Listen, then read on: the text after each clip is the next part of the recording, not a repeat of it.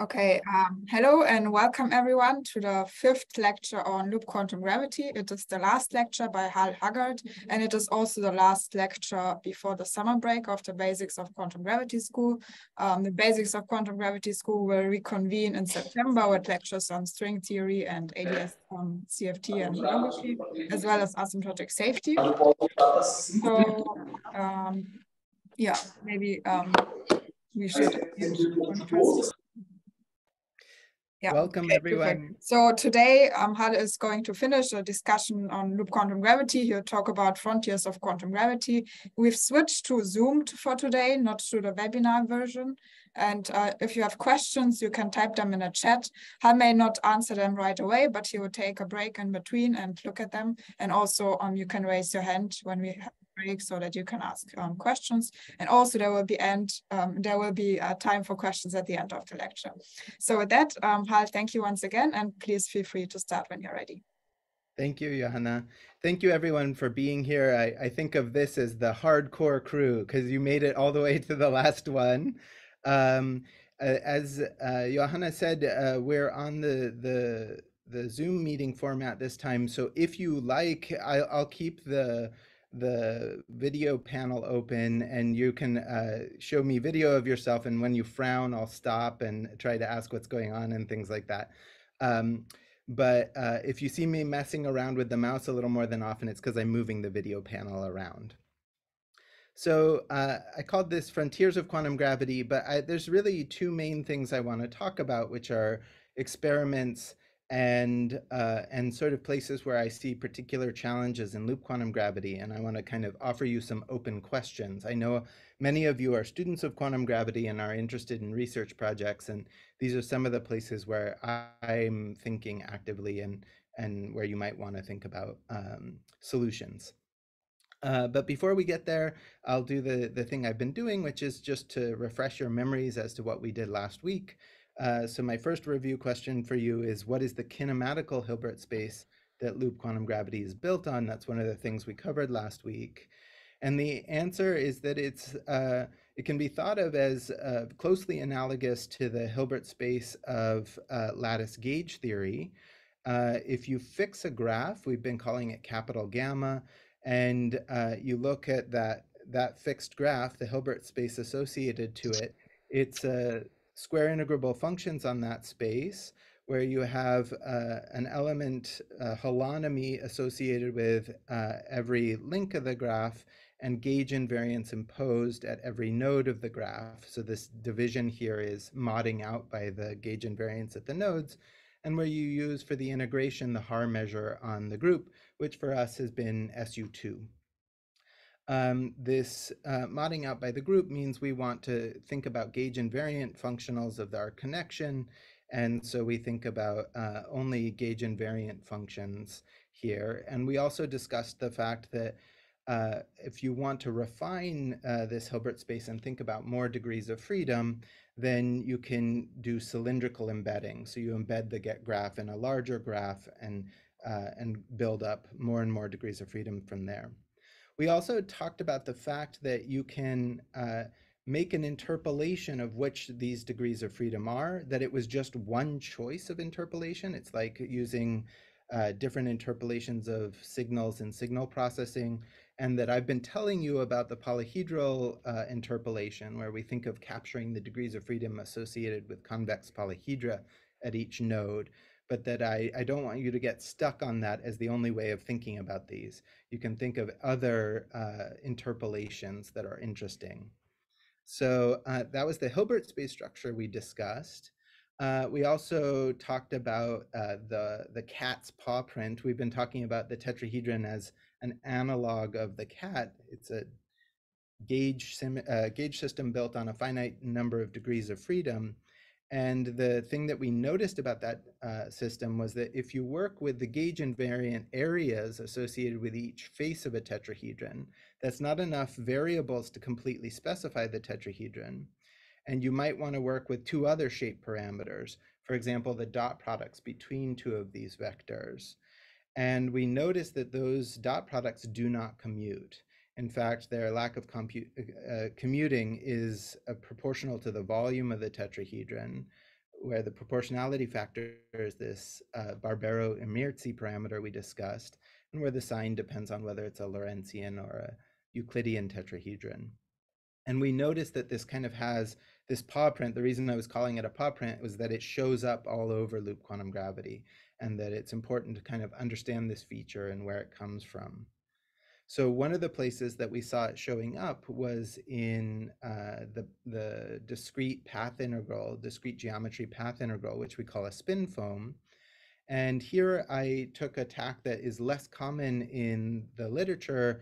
Uh, I introduced you to what's called area Regge calculus, uh, where you use the areas of faces instead of the lengths of, of edges to describe the geometry of, the, of your simplicial decomposition of a space-time. The advantage of working in those variables was that the area is naturally conjugate to this curvature angle around the bone of the simplicial decomposition. And of course, the use of area variables, as I was stressing from the beginning of the course, is very harmonious with loop quantum gravity and with this Hilbert space that we've been discussing. Um, but the one scary feature of area Regge calculus is that the classical equations of motion impose flatness, and you might start to worry that loop quantum gravity would only have flat solutions instead of the curved solutions of general relativity. And we realized that the way to get around that is that you, you have to impose the constraints weakly if you're going to work in these area variables. And I showed you that in, in that case, you can build an effective spin foam and actually do numerical computations where you see dynamics coming out of, of loop quantum gravity in these area variables. So that's kind of where we've been uh, in the last week or so. And uh, let me tell you about where we're going. I want to, as I mentioned already, discuss uh, prospects and challenges in connecting quantum gravity to experiment and, and touch on some new ideas.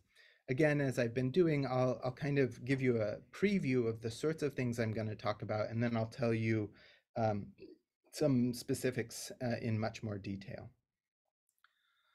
So the frame I want to give to this is this uh, challenge that we've seen again and again. So you, you can look up a table like this on Wikipedia. It just gives all the Planck units uh, for various quantities. Um, and you can look at the Planck length all the way through the Planck power. I've just selected a section of these. Uh, Planck initially worked with just the first four, and you can see they're giving fundamental units, and then you can build up other quantities out of those fundamental units. Uh, they're often called derived quantities when you get to these ones. Um, but I've been arguing to you that I think actually I'm a little skeptical of thinking of the Planck length as being fundamental. Uh, we talked about the fact that this square root introduces a non-analyticity that I find a little surprising to be a fundamental quantity. And it looks to me like loop quantum gravity is centering on the Planck area instead of the Planck length. And you should think of lengths as emergent in some ways. But we saw that whether you focus on lengths or areas, either way, the scales are totally crazy. 10 to the minus 35 or 10 to the minus 70 uh, meters squared in the second case. Um, so, so the Planck scale is just a very hard scale to access experimentally.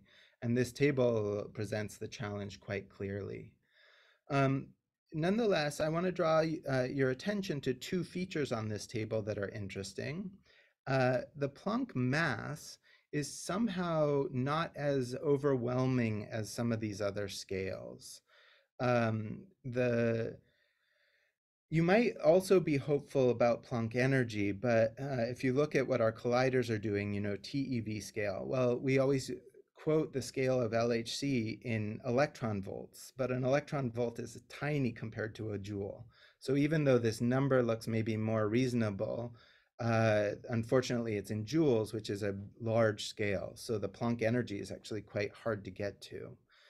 But the Planck mass is a very interesting uh, scale. the Planck mass, if, if we quote it in grams, uh, I guess we take away three orders of magnitude. So you could think of this as 21 micrograms. So 21 micrograms, that's actually a, a mass scale at which people are starting to be able to do things uh, in a quantum mechanical fashion. That is, people are starting to be able to get masses of that scale uh, to act coherently quantum mechanically. And so that's starting to become a very interesting scale. I, I, when I say starting, I'm I, that we're talking several orders of magnitude. We're not quite at this Planck mass, but uh, but we're much closer than some of these other scales. So uh, so that's an interesting place to look for experimental signatures. Um, I've also highlighted the Planck power, which uh, on the face of it looks like an absurd scale. And if I was just arguing that we can't reach the Planck energy, why on earth would we be able to reach the Planck power? Well, the reason I'm mentioning it is that it's interesting in two ways. One is that it doesn't involve h bar. Uh, so you can see that's coming from uh, the force not involving h bar. And then we're just dividing by a time scale, but a time scale uh, is, well, it's a length times a time scale and so, um, so we're getting something that doesn't involve H bar.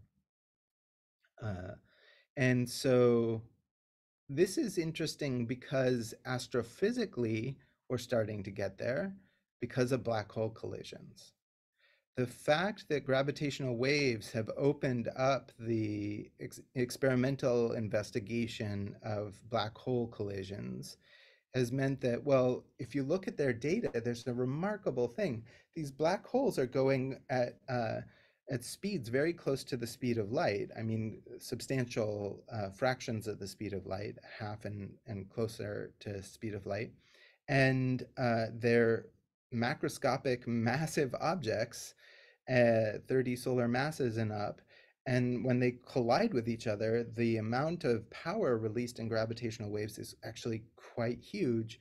And if you check, it's getting quite close to the Planck power.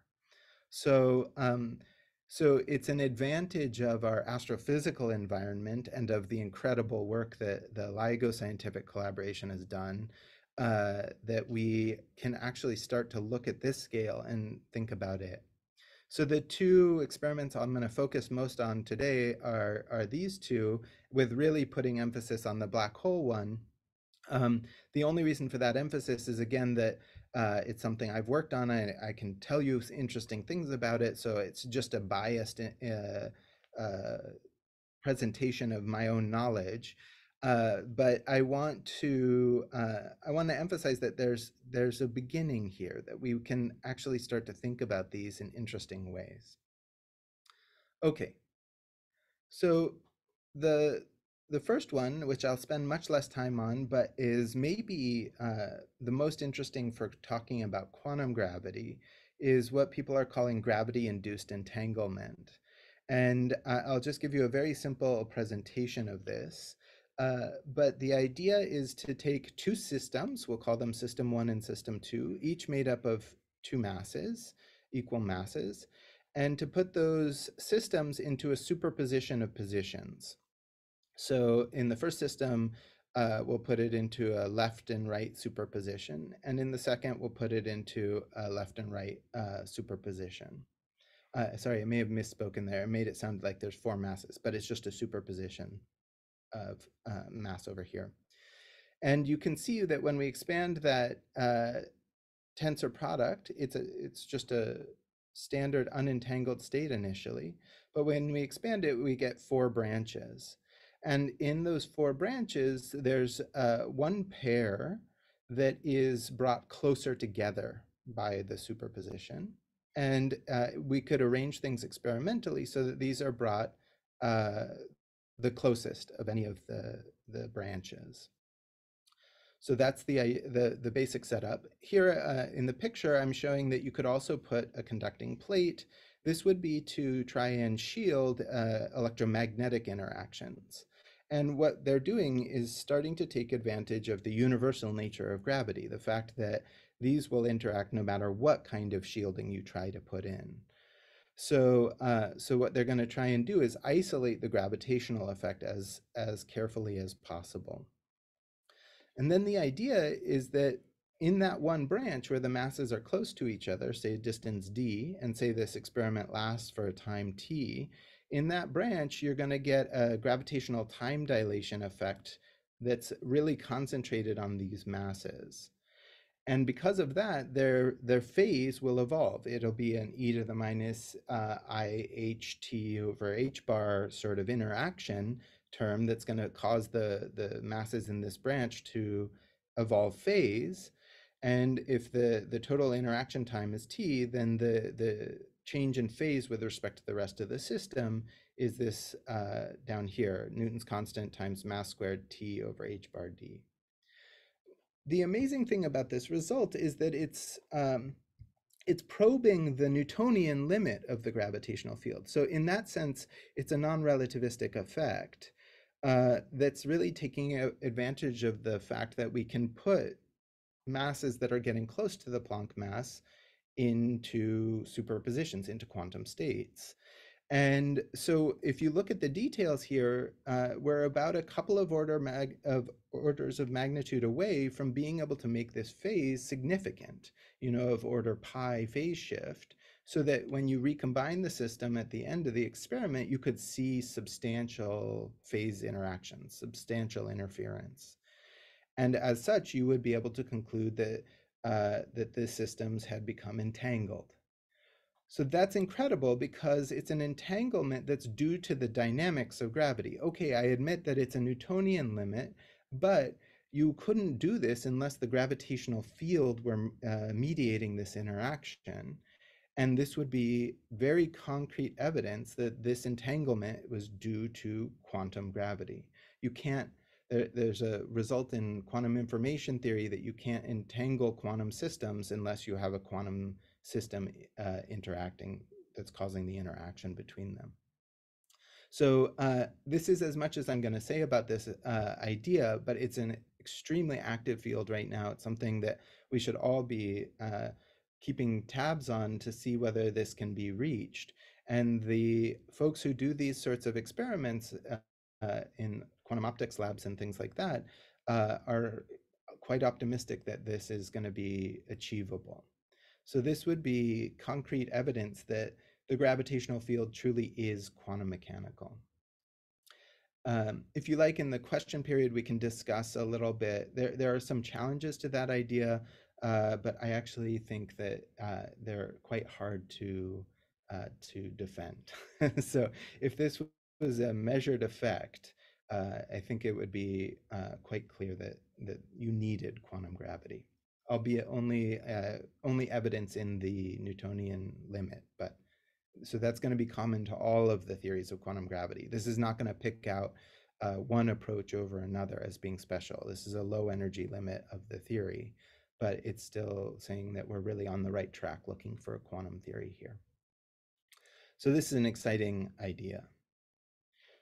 Um, the second system I want to bring your attention to, I already mentioned, was black holes. And here you know the, the wonderful uh, result, which again seems to be quite robust to the your approach, is the Bekenstein-Hawking entropy. And uh, I, usually we suppress all the units in this for, for obvious reasons, but I've put all the units back in because of an, a remarkable thing that my colleague Eugenio Bianchi likes to point out, which is that this black hole entropy involves every area of physics you see that it's got uh, special relativity in the C, it's got the Newton constant G, it's got H bar quantum effect, it's got K, this is K Boltzmann, the thermodynamic uh, quantity, and it's got geometry insofar as the entropy is determined by the horizon area of the black hole. Uh, here, m is the, the mass of the black hole and j is its uh, angular momentum. So this is an incredible formula that can kind of brings together all of these branches of physics. And uh, and in in doing that, I think it actually opens up a really interesting possibility for trying to probe quantum gravity. Um, I mentioned this last week, but uh, I think that one of the places to really look for an experimental signature of quantum gravity is in gravitational uh, general relativistic statistical mechanics. Um, the reason for that is that the statistical nature of systems can enhance the uh, quite small effects, Planckian effects of quantum gravity. And so that enhancement is going to be the way, the leverage bar to bring the scale of the phenomena to something that we can measure. Uh, that's the idea anyway. And, uh, and so I'm going to try and give you more evidence for that idea and, and sort of build that idea out in the example of black holes. So to, to frame the question that I want to ask you, uh, I want to, we, we say two kind of contradictory things when we talk about black holes. If you study black holes in the classical theory, we say that somehow they're the simplest objects in all of nature. a black hole is completely characterized in the in the classical theory by its mass and its spin right? If you specify those two parameters you've specified a solution of the classical theory and it's just perfectly well defined on the other hand we have this bekenstein-hawking entropy which uh, the black hole has a macroscopic horizon area and yet we're measuring that area in units of the Planck area and so this entropy is just gigantic. It's huge.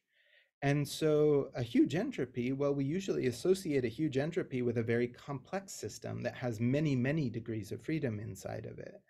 And so it would seem that we're talking about a wildly complicated system. And so the question is, which of these pictures is correct? Uh, the quantum picture seems to be this latter picture. And the struggle in quantum gravity is to uh, precisely identify this huge number of degrees of freedom. And so the, the work I want to talk to you about today is an attempt to look for an experimental signature of this uh, Bekenstein-Hawking entropy.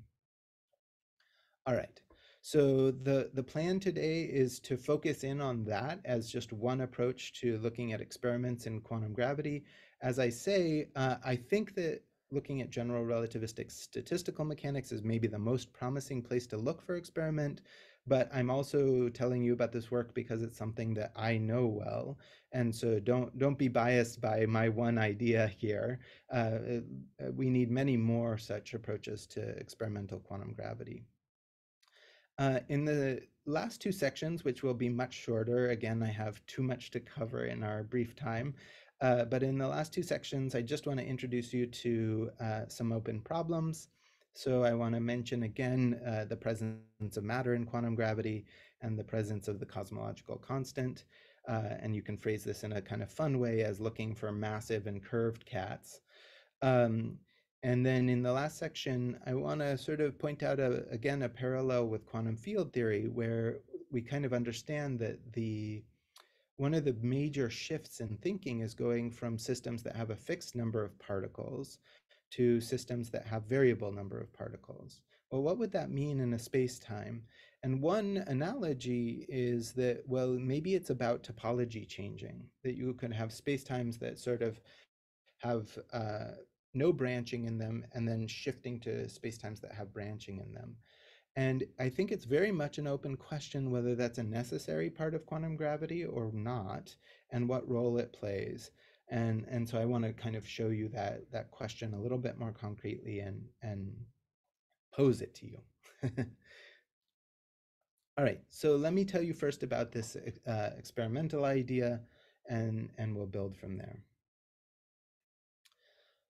All right, the main thing I want to start off by framing this with is that uh, gravitational thermodynamics and statistical mechanics are quite atypical. Uh, this is um, maybe something you've noticed, maybe not. Maybe it made you uncomfortable, but you never quite put a finger on what's weird about them. Uh, the there are kind of three key points I can make right off the bat. Gravity is long range. We knew that. But even uh, more troublesome, it can't be shielded. There's no way to isolate a system and cut out the gravitational effects. Um, we've talked a lot about the fact that there's no Hamiltonian in quantum gravity. We were noticing that you can't build an energy. And we made a, a general covariance argument for that. But this is another symptom of that, the fact that you can't shield the system, you can't isolate it that's related to the fact that it's always interacting. Um, another feature is that uh, strongly gravitating systems do not have additive energies. When you uh, take uh, two black holes and you begin to let them orbit each other, the, the energy of the total system is not just the sum of the mass of the first black hole with the mass of the second black hole. There's a binding energy. And that binding energy is totally non-negligible. It's a significant part of the energy of the system. And this is the nonlinearity of the theory. And what I want to point out to you is that both of these facts undermine uh, the basic notion of extensivity uh, in the usual formalism of thermodynamics. So extensivity has to do with when we put two systems together, what happens.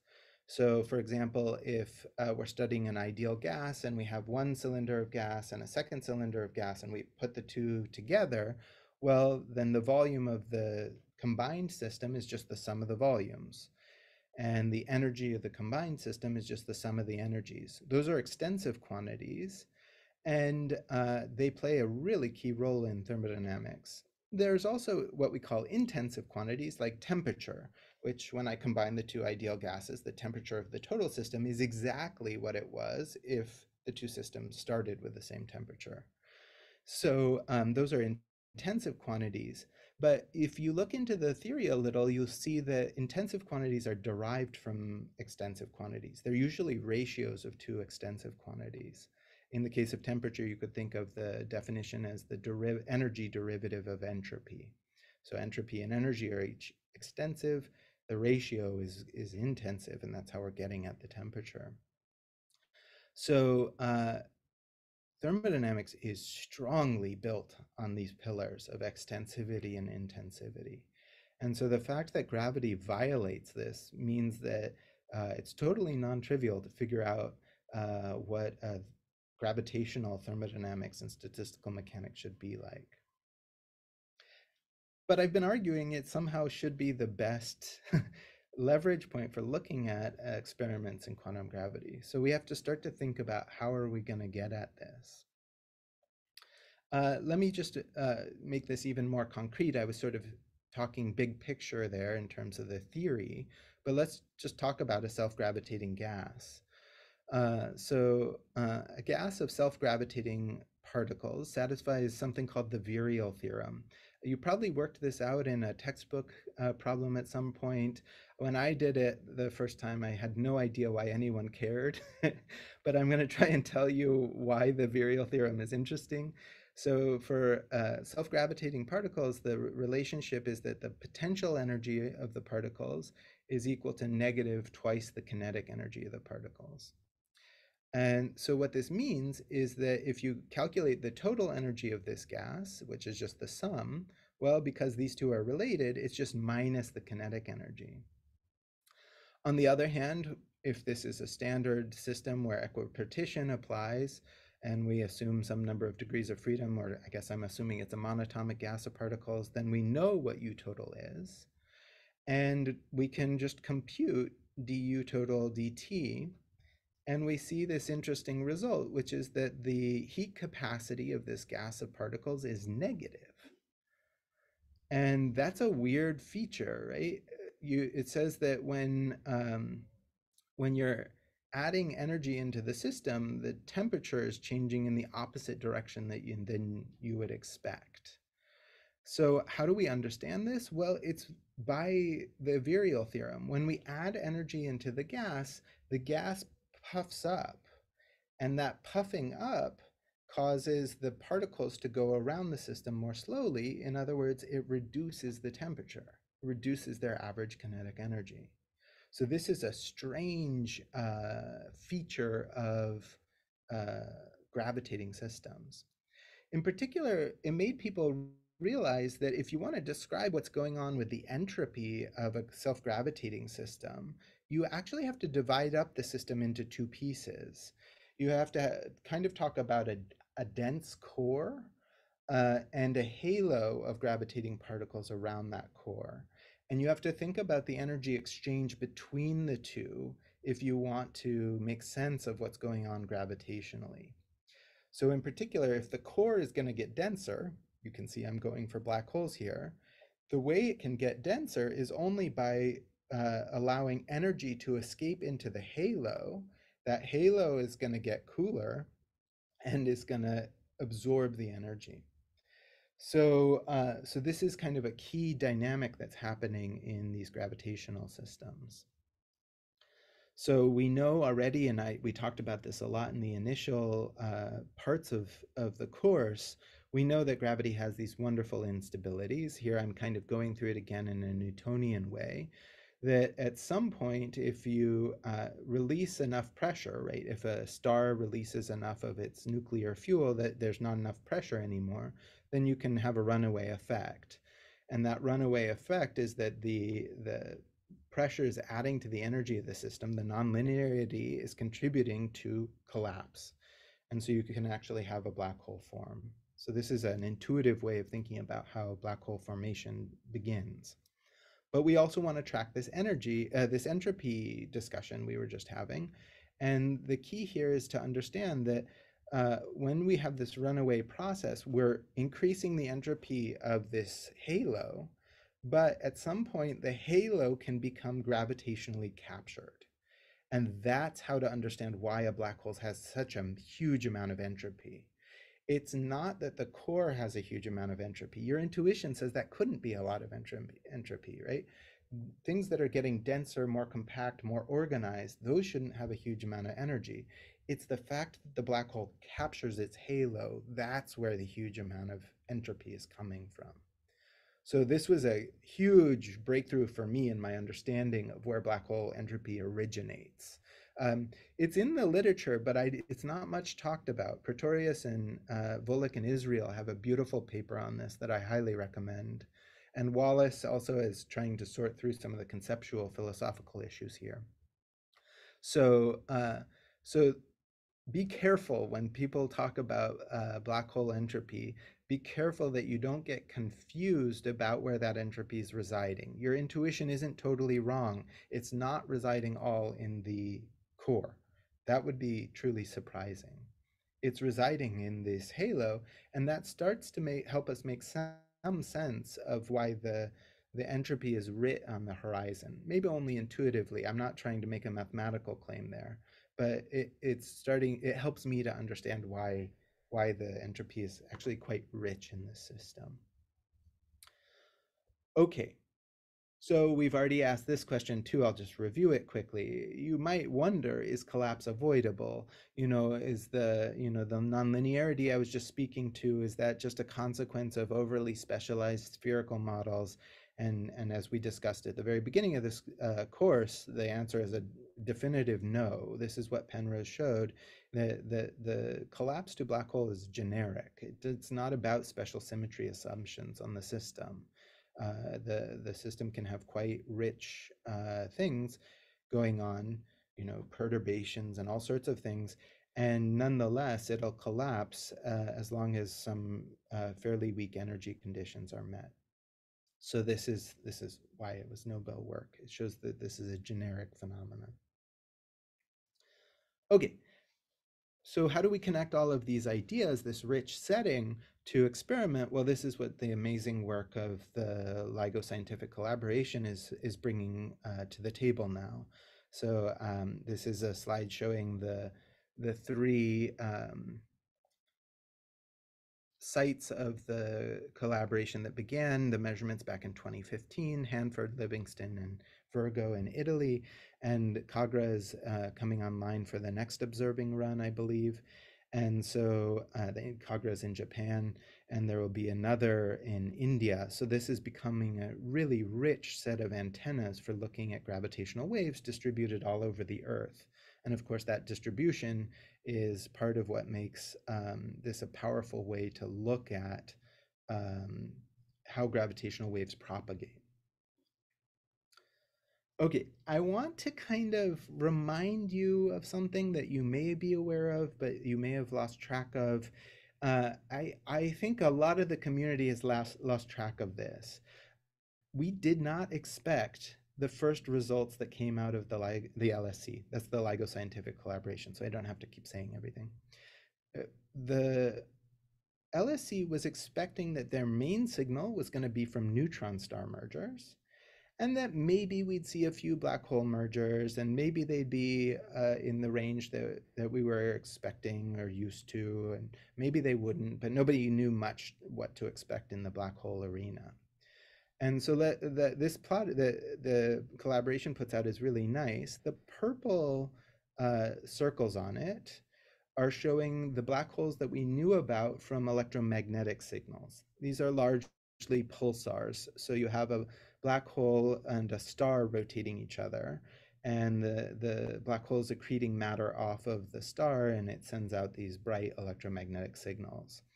And these black holes, you'll notice they're mostly in the range from five to, well, just over 20 solar masses. So that's what the vertical scale here is. Horizontal scale doesn't mean anything. It's just a way to show all the separate events. And uh, so these are the black holes we knew the most about and uh, they're they're relatively light. Um, they're certainly above the limit where we expected to see uh, black holes form, right? There's this so-called Chandrasekhar limit, uh, below which you don't expect black holes to form via collapse. So these are in a totally reasonable range. So the thing I want to remind you about that I think we're losing track of is that nobody expected that the main mergers we would be seeing were of black holes in the range from 20 to 40 solar masses. Right? These are black holes that we didn't know were going to be there. We'd never seen black holes like it, save maybe one or two. And we certainly didn't expect them to be abundant enough that they, they would be the main signal that we saw mergers from. The, the first events in the, in the, that were detected in 2015 were all black hole mergers not neutron star mergers. We had to wait a while to get a neutron star merger. And as the sensitivities increased, they've just seen more and more black hole merger events. So this is a remarkable thing. This is interesting, and it's data that we should all take quite seriously, that there are more black holes out there of more variety in masses than we expected. All right. So I want to tell you about black holes, thinking about them as thermodynamic objects. And so I should fix a setting. So uh, what's my setting? Well, I'm going to consider a black hole sort of contained in a region. This region, I've drawn it very simply on the slide here, but I, I, this dashed line is quite far. I want the dashed line to be, you know, asymptotically flat. So it's a, quite a big box, but by putting the black hole in a box, I'm able to talk about the mass energy content of the region. So let's fix the mass energy content to the region. That's the, the thermodynamic setting for us. We're going to fix M. And this is what we would usually call a microcanonical ensemble, right? If we're doing statistical mechanics of a fixed system in a closed box, energy is not coming out or going in, and so it's microcanonical. That's, that's what the setting I want your minds in for now. Okay, what's the advantage of doing that? Well, then we can think about what the entropy means. Entropy is uh, nicely computed in the microcanonical setting. And, uh, and I want to point out a feature of the uh, Bekenstein-Hawking entropy that you may have noticed, or again, may, maybe you haven't thought much about the, that formula in the context of a spinning black hole. So uh, when we talk about spinning black holes, we introduce a parameter, uh, it's just a classical parameter of GR, which we call the Kerr parameter, and it's usually denoted by a lowercase a. The advantage of this parameter is that it's dimensionless. And the way we build it is we just take the angular momentum of the black hole and divide by the units of angular momentum built out of the gravitational constants available. So this is the Kerr parameter. And uh, you can show that in the theory, it ranges from zero spin, no angular momentum, up to one, when you get to one, uh, lots of wild and weird things happen. Uh, the the horizon goes away, and you have a naked singularity and things like that. Um, as far as I know, nobody that's in the empirical world thinks one is actually reachable. And there are several beautiful uh, kind of theorist arguments that you can't get all the way to one. So the famous um, Thorne limit is, is one example of this. So we can write the Bekenstein-Hawking entropy in terms of the mass of the black hole and the Kerr parameter. And the Kerr parameter shows up in a very simple way, just as a square root of 1 minus a squared factor. Um, And uh, here I've uh, put things in terms of Planck masses, just so you can see how units are working. And the, the remarkable feature to see from this formula is that the entropy goes down as you increase the spin of the black hole. So the higher the spin, the less the entropy. Okay, so that's just a consequence of this Bekenstein-Hawking formula, and uh, the Bekenstein-Hawking formula, as I was mentioning, seems to be quite robust to your approach. That is, different approaches to quantum gravity are able to derive this formula. So let's see if we can look for a quantum gravitational effect that's a consequence just of this entropy. All right, we said we're in a microcanonical setting, so we're fixing the energy of the system. And again, the idea of a statistical mechanics in a microcanonical ensemble is that the microstates should be equally probable. And so we can just count states, and it's a simple count. You just exponentiate the entropy. You know this the other way around, right? The entropy is the logarithm of the number of microstates. And so we can exponentiate the Bekenstein-Hawking entropy. And then uh, if we want to know the total number of microstates at a fixed mass, right, that's the only parameter we're fixing, we have to integrate over angular momenta to get all of the states, right? Um, here you'll notice that there's an a squared dA factor. Uh, that actually makes good sense. The angular momentum is initially a vector, right? But we are going to go to spherical coordinates in that vector and there's like an r squared dr, right? So this measure is just coming from the nature of the thing that we're integrating over. And uh, well, what's the point of doing this calculation? The point is that you can extract a probability from it.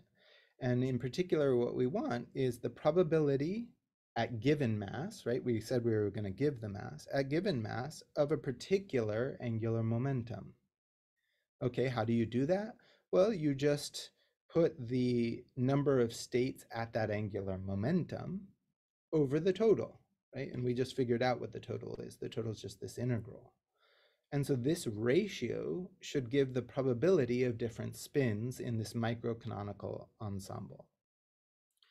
And uh, so that's what the inset plot shows. It's a very interesting uh, plot. The um, these different distributions are at fixed mass of the black hole for, but I'm showing different masses. So if you take uh, the black hole to be super, super tiny, two Planck masses, which you remember we said was 21 micrograms. So we, we're talking about 40 microgram black hole here in this purple distribution. In that purple distribution, you can, you can see it's quite spread over different angular momenta. But as you increase the mass to five Planck masses, 10 Planck masses, ooh, and an extreme 20 Planck masses, now we're talking 400 microgram black hole, the distribution is getting more and more centered on zero angular momentum. So why is this happening? Well, it's exactly that phenomena that we were just saying. As you increase angular momentum, the entropy decreases. That is, there are far fewer states available at higher angular momentum. So for macroscopic masses like a solar mass black hole, you should predict from this microcanonical ensemble that the spin should be spot on zero. Okay. In fact, uh, well, I did a more precise statement here at the bottom of the slide. The expectation value of the Kerr parameter at a solar mass is 10 to the minus 38. So you're, you're really expecting very small angular momenta in this microcanonical ensemble. Okay, but we have to be careful here. How do we understand this result? I want you to distinguish two possibilities. What I'm talking about is if a black hole were formed in a sort of thermal ensemble, right? If it was formed according to statistical mechanics, then this is what you would expect for its spin if it was formed via gravitational collapse, is that a thermodynamic process? No, that's far out of equilibrium, right? In gravitational collapse, you're starting with a star that already has angular momentum, and you're allowing that star to run out of nuclear fuel and collapse, and the end object will have angular momentum because of that. You're not starting with a, a thermal ensemble. So uh, that shifts the question to a new question, and that's the one I want to address next, which is, is there any context in which we might think that black holes could be formed according to a microcanonical ensemble? And if so, uh, where should we be looking for those? Um, okay, I'm going to say a couple more things and then I'll pause for questions. I see there's already one in the in the chat. So uh, one thing I want to I, I want to make an analogy for you so that you can kind of start to see where I'm coming from. Uh, and the analogy is with inflation, uh, which you'll recall gives a really intriguing uh, explanation of the cosmic microwave background. So the when we look at the CMB, it's a per, almost a perfect black body spectrum. If you've never seen that experimental curve, you should look it up. It's absolutely gorgeous black body. But we also see some deviations from black body. And uh, what inflation tries to do is explain the origin of those deviations. And you could come up with an alternative explanation different from inflation. You could say, well, those fluctuations, they're due to thermal fluctuations in the early universe. The early universe was a hot primordial soup. That primordial soup was probably at roughly the same temperature, but there will be fluctuations. And then uh, the universe expanded, and we should be seeing thermal fluctuations on that background of a CMB, uh, of a black body CMB. Um, but if you do the calculation, you'll find that the thermal fluctuations are just too small. They don't explain the magnitude of the observed fluctuations in the CMB. And so that's where inflation comes in, and it has a really interesting explanation. It says that these uh, anisotropies are well described by the statistics of quantum curvature perturbations. So we can take our quantum state of the early universe to be um, to be uh, a nearly Gaussian state, but with quantum perturbations.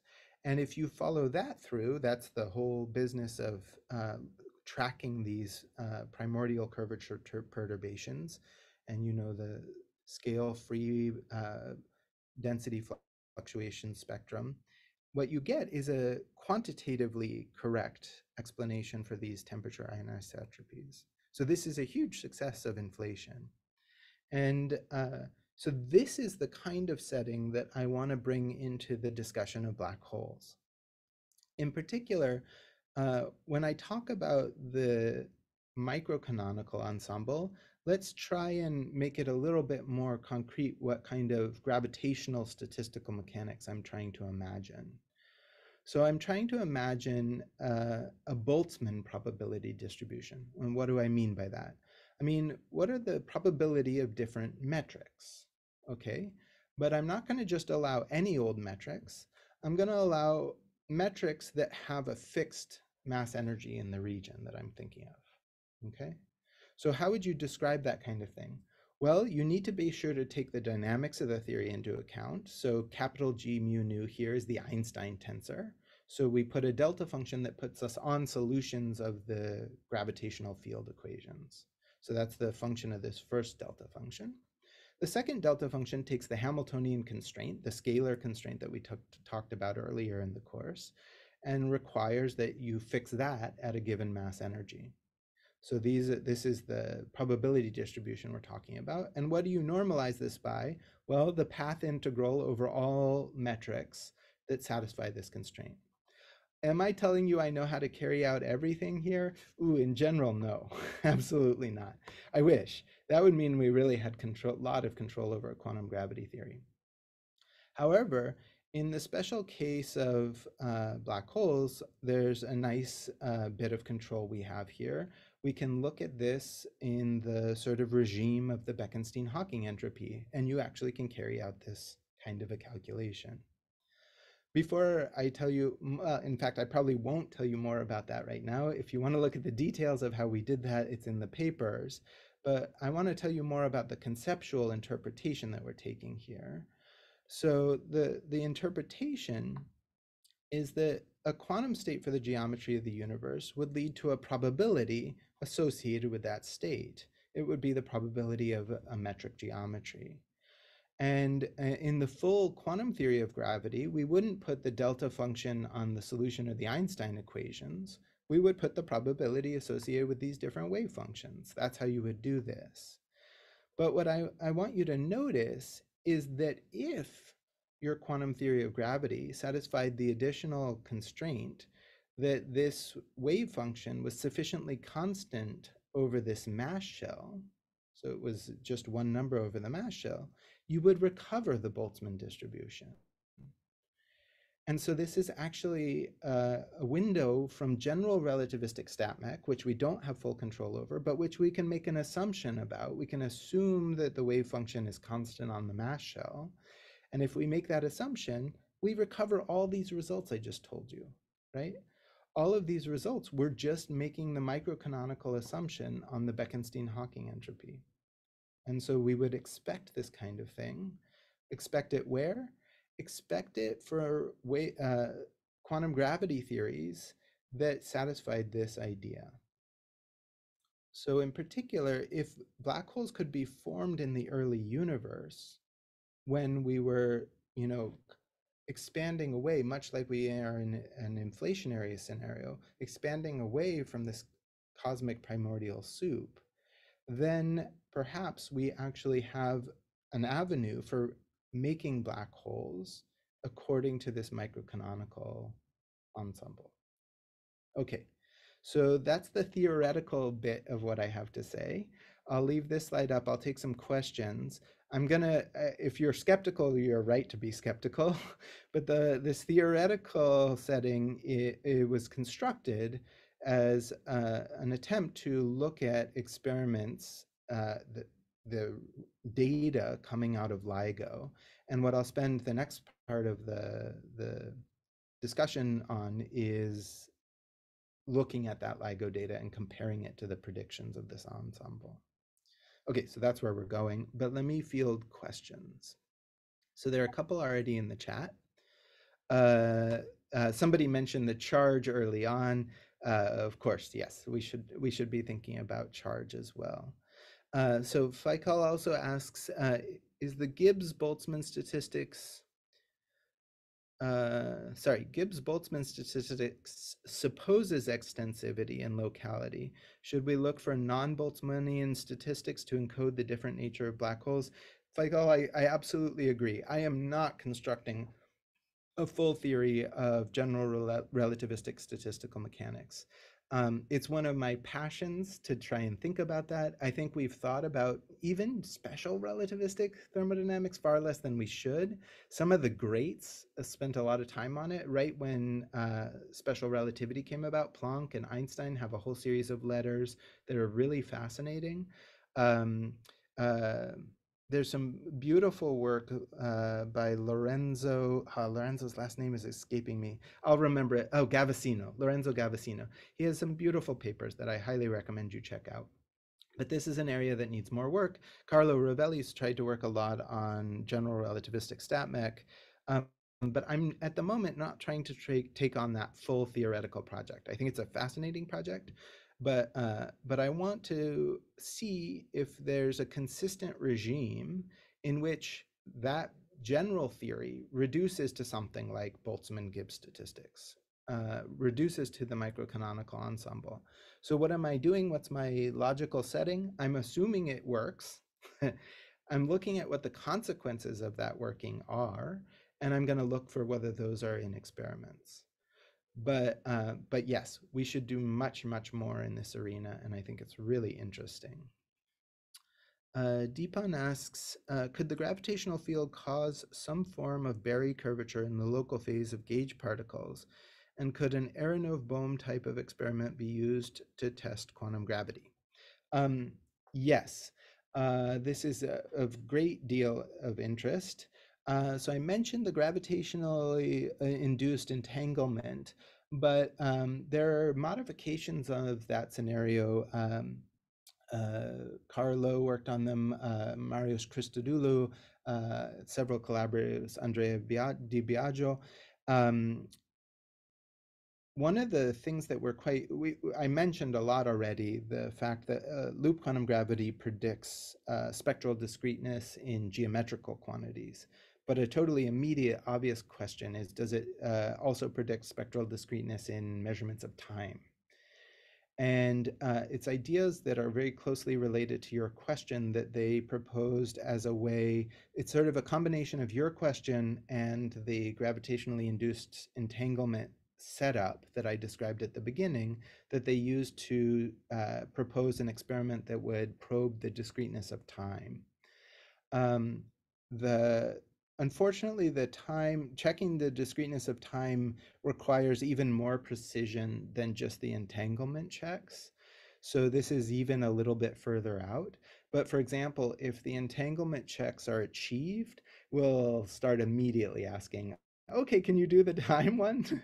Uh, so I think this is a really interesting avenue. I think we we could all push on this a little bit more and see if there's um, more to some of the proposals.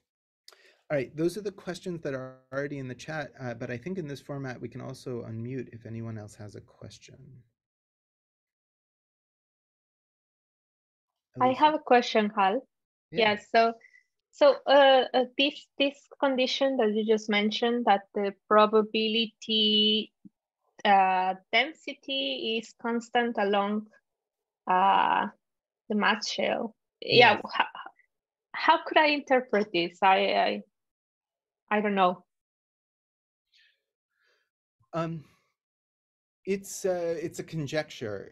It's not um, it's not something that we're deducing. That's what I was uh, trying to say a moment ago. So the the observation is just the comparison that this is what the Boltzmann statistics would be, right? Mm-hmm. And then this is what a quantum gravity of theory, uh, quantum gravity theory should look like as a prediction, uh, right? Uh, this is a conditional probability. We're asking for what's the probability of a metric under these conditions? Well, if it's like any other quantum theory we know, conditional probabilities are given by putting in these delta functions. So, so far that's okay. the only input. But, okay, so once we see this structure, we see that all we need for it to reduce to this previous slide is that this be essentially constant on the mass shell. Okay. Mm-hmm. So the input is kind of coming the other way around. It's coming from if this were true, we would recover a standard setup that we understand well. Okay. Mm-hmm. Um, it's not crazy to imagine that this could be true if somehow the the probability gets um, in a path integral sort of way, if the probability gets concentrated on a dominant classical solution, then you might expect that that probability would be nearly constant on that solution, right? On that mass shell. So I think it's quite reasonable. I'm not trying to say I think it's out of the blue. Uh, it's just that um, that I don't have the, the, quantum theory of gravity that would predict this. I, I only have the proposal. Yeah, yeah, but I mean that this would be what would happen for I don't know for any other quantum field theory, right? Yes, uh, this mm-hmm. is. Uh, I'm trying to, at the moment to to only speak about things that are kind of robust to your approach. Mm-hmm. Uh, this is not a claim uh, that's uh, specific to loop gravity or string theory or anything else. Okay, thank you. Yeah. And another question appeared in the chat. Faikal wonders, is this condition of con uh, constancy related to equiprobability of microstates at equilibrium? Yes, uh, that's essentially what I'm trying to build. I'm trying to make sure that, that that's what comes out of this uh, probability distribution. And Mateus asks, doesn't this probability problem also resemble the problem of knowing the microstates of a black hole? Um, yes, although here I'm not trying to uh, identify specifically which microstates we they are. At the moment, I'm just counting them, and so I'm trying to make a uh, a prediction about quantum gravity theories, regardless of your favorite characterization of those microstates. So if they're stringy or loopy or something else, uh, causal dynamical triangulations, Um, so far, all of those theories predict Bekenstein-Hawking type behavior, and uh, and this would be encompassed in all of them as far as I know. All right, let's continue from there. So uh, like I did a little bit with the LSC data and the masses, I'd like to kind of situate you eh, as to what we know about black hole spins before LIGO, because I think that situation helps you to understand what's interesting about the LIGO data. So uh, what are the spins of black holes that are formed via standard collapse? we don't have a huge data set. You saw already that the electromagnetic black holes that we probed before LIGO was a small number. And then you have to uh, meet even more stringent conditions in order to be able to bound the spin very accurately.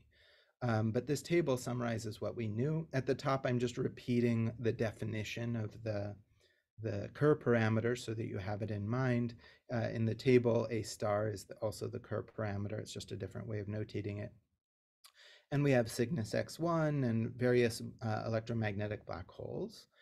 And uh, you can see the spins vary quite a bit within this data set, all the way from uh, very small values like 0.12, well, with big error bars, but uh, all the way up to Cygnus X1, which actually has quite a large Kerr parameter, greater than 0.95.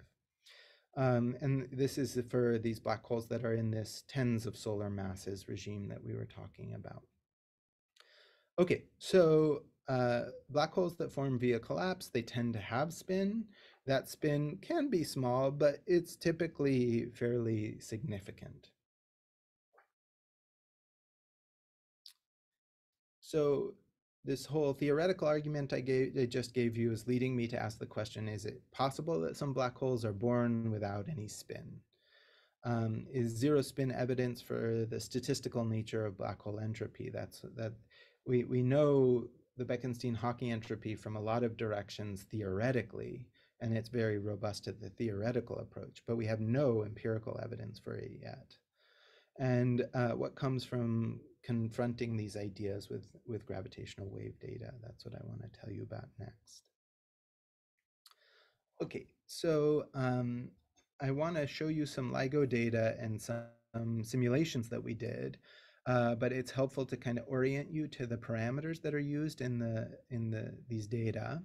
So let's characterize a black hole system uh, by uh, black hole binary, we usually call it. So two black holes, each one has its own mass, and I'll call the spin of the black hole A, and uh, the second one has mass and spin. And the two black holes are orbiting one another. And from that orbit, you also have the orbital angular momentum of the system. And when they merge, well, they result in a final black hole with the mass final. Uh, it has its own spin, and in the process, a lot of gravitational waves are emitted. So this is the characterization of the uh, black hole events. And I just keep keeping the Kerr parameter around because I don't want to assume anybody remembers it well. uh, and then at the bottom, uh, so on the parameter space we're going to look at is going to have the uh, the spin of the merged black hole, the final black hole on the vertical axis, the y-axis. But uh, I'm also going to use this parameter that they use quite a lot in LIGO, uh, which is called chi effective. And it's called the effective initial spin. And it's a combination of a, a bunch of data. And that's why I need to tell you what it is. So it's a mass weighted average of the spins of the two black holes. So you see there's the mass weighting times spin, mass weighting times spin. But then to get a scalar, what they do is they project it onto the direction of the orbital angular momentum. Um, so why introduce this funny uh, parameter? Well, it turns out it's easy. It's amongst the easiest things to extract from the actual data that they obtain. So this is, you would love to be able to extract the individual spins of each of the black holes, but that's hard to do uh, as a data analysis problem. And this parameter, this combination is much easier. And so this is the main thing that's been reported in many papers up to now. Um, I want to point out a few things about this quantity. Uh, it ranges from negative one to one, so it's uh, it's kind of like the Kerr parameter, except that it has some directional input. Uh, if this parameter were zero here, what would that mean? Well, there's a couple ways it could happen. If uh, the masses say were close to equal, and the directions of A1 and A2 were opposite each other, so the spin directions were opposite each other, then uh, this quantity would be zero.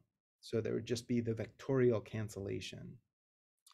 Or another way it could be zero is if for some reason each of these spins, they wouldn't have to be opposite each other, but if for some reason they were both in the orbital plane, so that L is pointing perpendicular to the orbital plane, and when you form the projection, the dot product, the, then you get zero.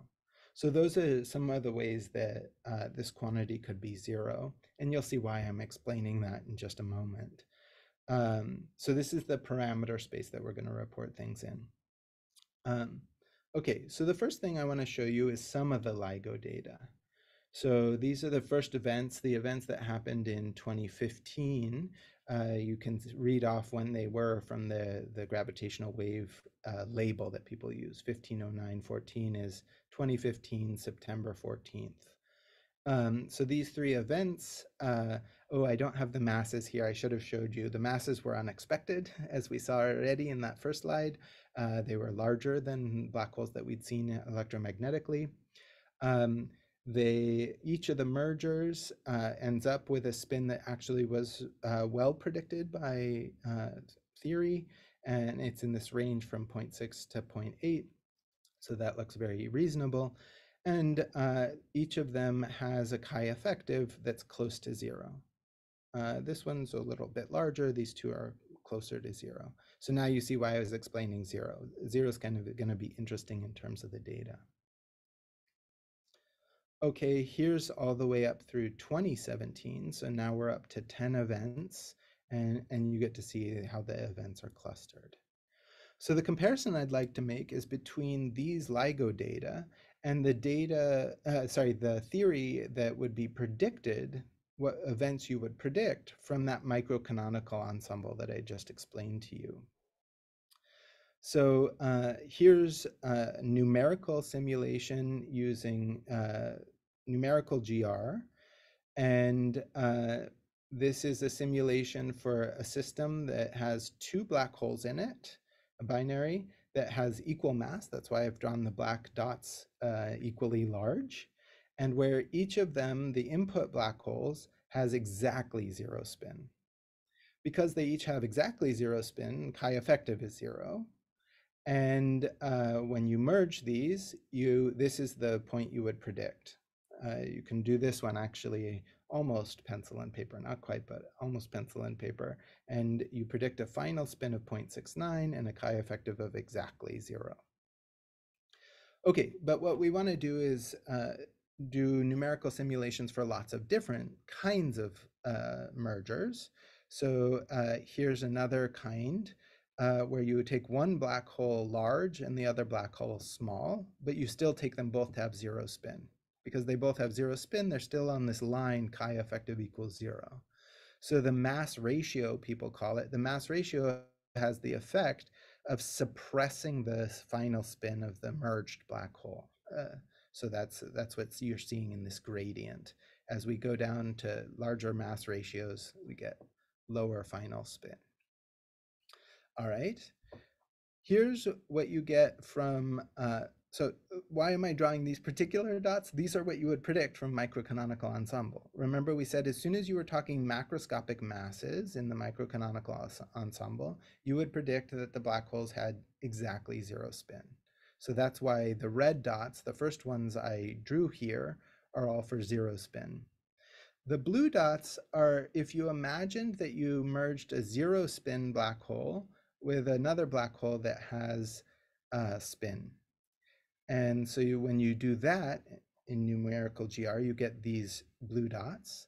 The darker dots have mass ratio closer to one, and the lighter dots, you have mass ratio that's non-one. So you can see the lighter dots sort of tend to move towards the lower right quadrant of the plot, and the darker dots tend to cluster along this, this rim here. So why the funny notation up here? What we're imagining is a scenario where black holes are formed in the early universe, according to the microcanonical ensemble. The, we're going to call them first generation if they were just born in the early universe. So the red dots are what you would call a first generation, first generation merger. That is two black holes that were born in the early universe because they were primordial and microcanonical in our picture. They have zero spin, and so they form one of the red dots. If then after that happens, well, we know that after a red dot appears, it has spin. So we call the blue dots first generation, second generation mergers because we're imagining that a primordial black hole with zero spin is merging with one that already had a merger and hence a spin. And so that's where the blue dots come from. So this is showing you a prediction of the theory that uh, I just described for you. So let's compare this prediction with experiment. So here are the first five uh, LIGO events. And then uh, here's the, the 10 I showed you. Uh, don't get too excited. Uh, 10 data points on something like this, uh, it's not, don't, don't overread the plot. But I do want you to see that it's not, we're not talking something totally absurd here uh, it's an interesting idea. We have to build up a, much bigger statistics to see whether there's something interesting here. Um, okay, this is just one model. I'm proposing this model where black holes are born with zero spin and then we watch them merge and what happens from there. Uh, what, what would other models predict? Um, oh, sorry, I gave you one more slide that includes the 2019 uh, data set. Uh, here I've included uh, more data points and you can see I've included more extreme mass ratios. Why did I include more extreme mass ratios? Well, LIGO measured a black hole with a huge mass ratio. I'll show you the data for the masses in just a moment. Uh, but this one I find quite interesting because of where it fell. um, all right, so those are the 2019 data. So the huge mass ratio one is up here. It's the one that's highlighted in this plot. Um, oh no, sorry, that's not the huge mass ratio. This was just the one that predicts, produced the largest mass. Uh, I'm not sure where the huge mass ratio one is. Anyway, uh, so this is the, the 2019 data. Okay, this is what I wanted to explain to you next, which is just whether there are alternative models of the LIGO data that are, are doing well. So um, there's two uh, models in the literature that, um, that appear most often. Uh, one of those is the idea that black holes uh, could form in globular clusters. A globular cluster is a huge collection of stars and uh, near the center of the cluster, you can have quite dense regions. And uh, you can imagine that, you know, maybe uh, gravitational collapse would result in black holes that have basically isotropically directed spins. So the that that's why the name isotropic comes about. So the, the stars in there are wildly rotating and wildly orbiting each other. And so as you accrete mass, you might accrue uh, a spin direction that's really randomly oriented. So this is one of the models of astrophysics uh, of black holes. And the purple dots are the numerical simulation of uh, numerical GR simulation of isotropic black holes. So black holes that have spins pointed in random directions. And again, uh, with varying mass ratios, which are in the shading, but that's hard to see. And you can see that the isotropic population tends to cluster uh, in this purple cloud. Um, another scenario that people talk about is what's called a common envelope uh, formation of black holes.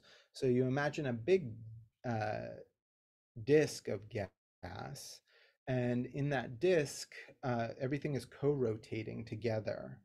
And if you had a gravitational collapse within that co-rotating disk, you could form black holes but those black holes would tend to have their spins aligned with the spin direction of all of the mass. So orbital angular momentum and spin directions would all be aligned. So the orange dots are the GR numerics for these aligned populations or common envelope populations, and you get this orange cloud. And so, uh, so this started to get us more excited about this idea. You can see that the common envelope formulation is so far uh, not favored at all by the uh, LSC population.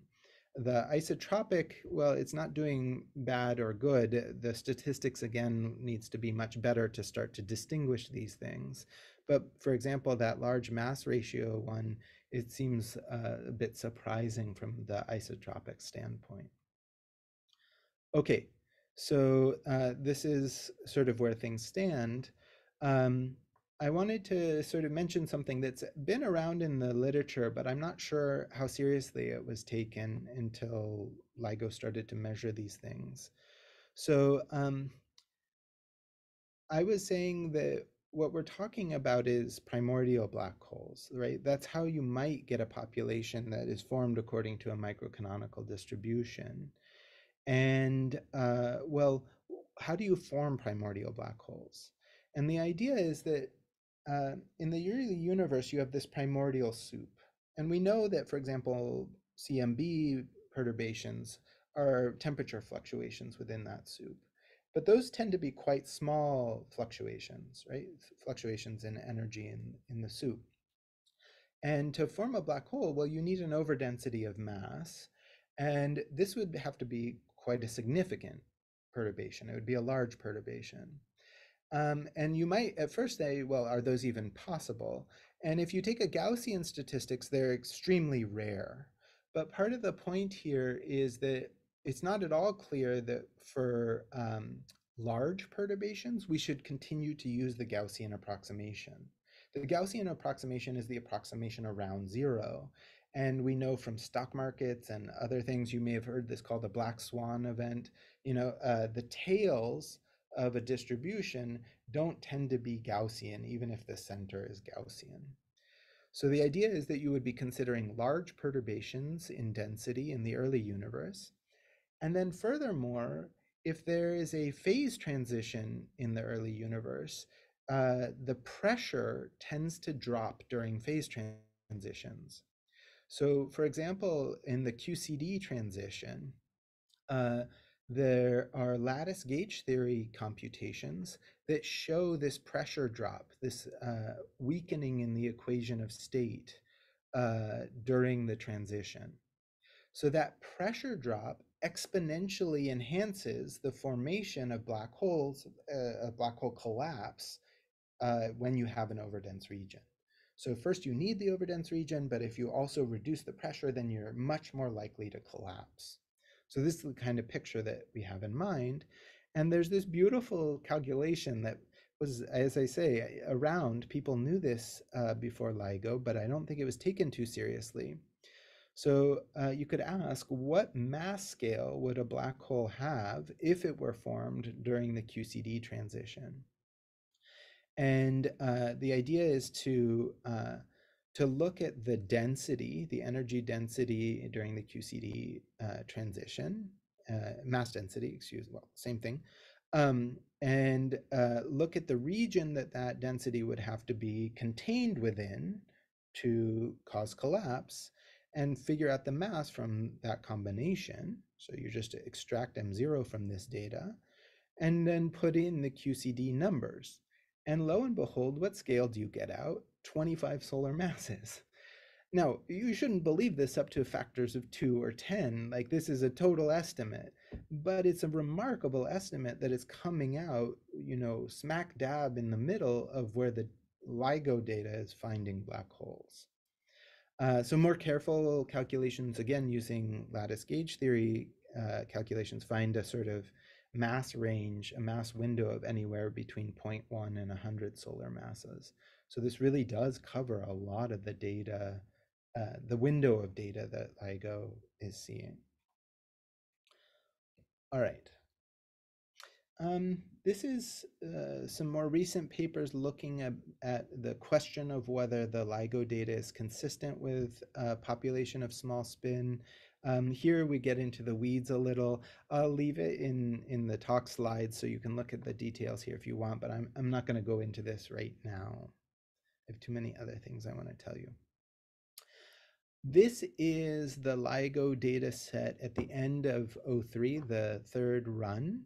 They had seen 83 binary black holes, seven neutron star or neutron star black hole mergers. It's hard to tell which sometimes.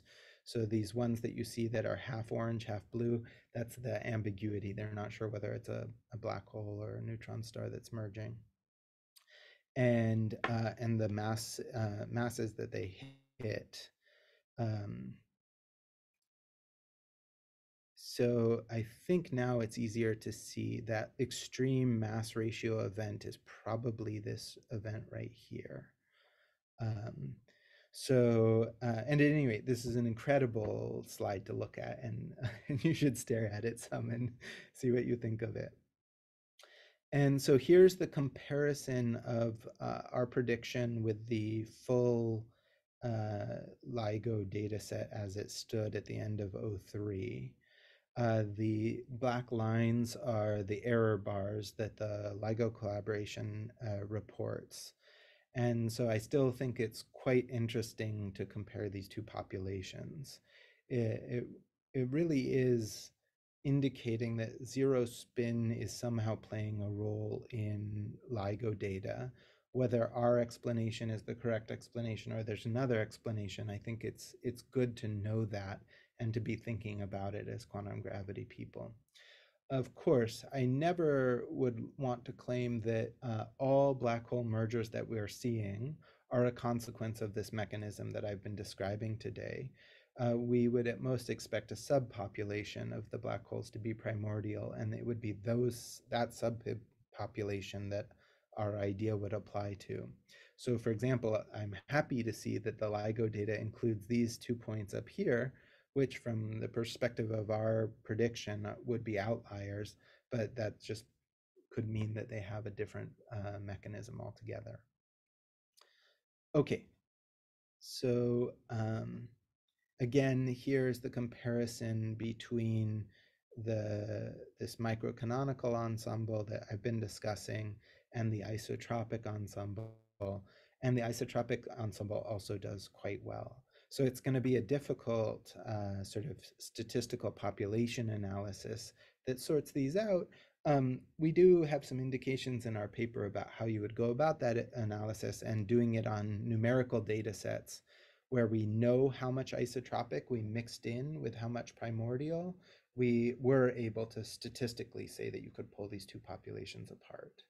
Um, LIGO data isn't there yet, but oh, uh, run four begins quite soon. So this is something that I'm I'm going to keep following and, and tracking what's going on with the LIGO data. Okay, so what was the point of all of this discussion? For me, the point is that the the major challenge in quantum gravity is to connect with experiment. And I want you all to come up with creative ideas for it. that challenge is super interesting, super rich, uh, and, and we're still very much in a place where we need new ideas.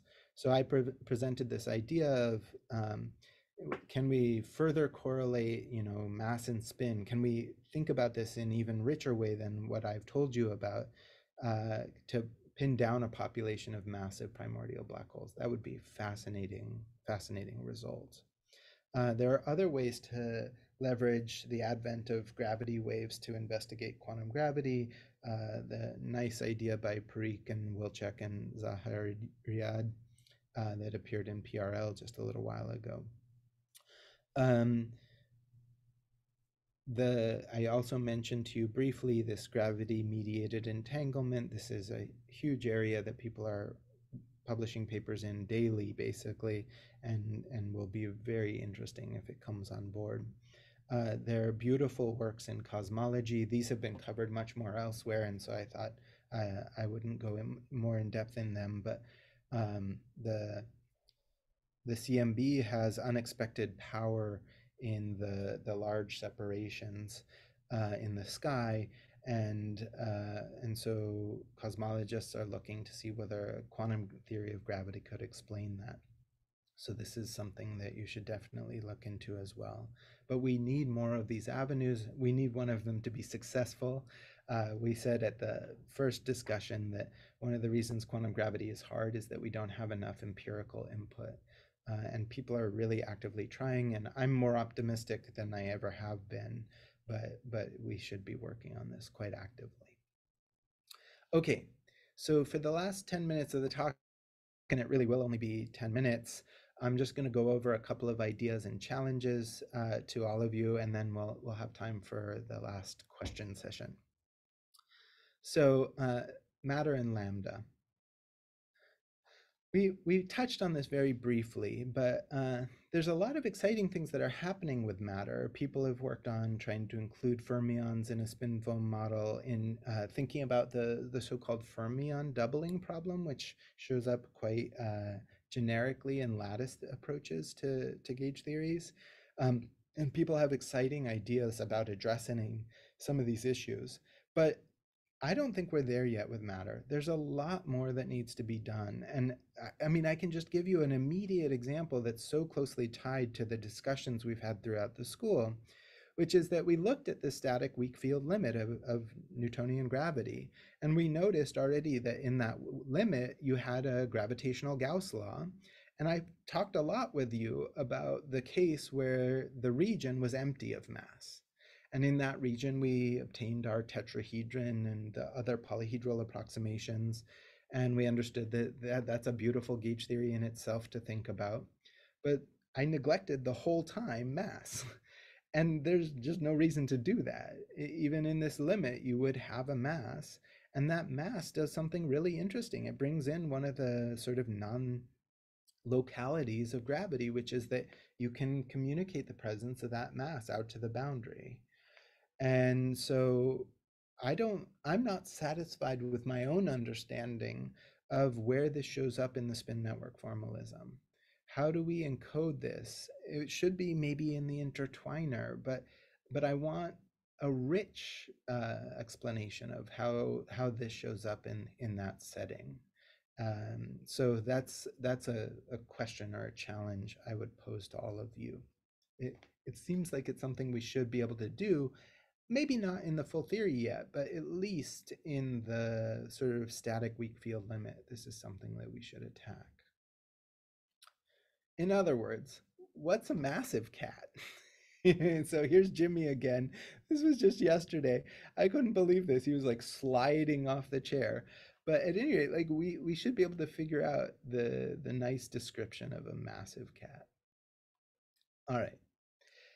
Um, thinking about mass in this way is one inroad there to a beautiful set of works that is happening uh, all over the world uh, where people are thinking about what we call corner symmetries and edge modes and, and soft theorems.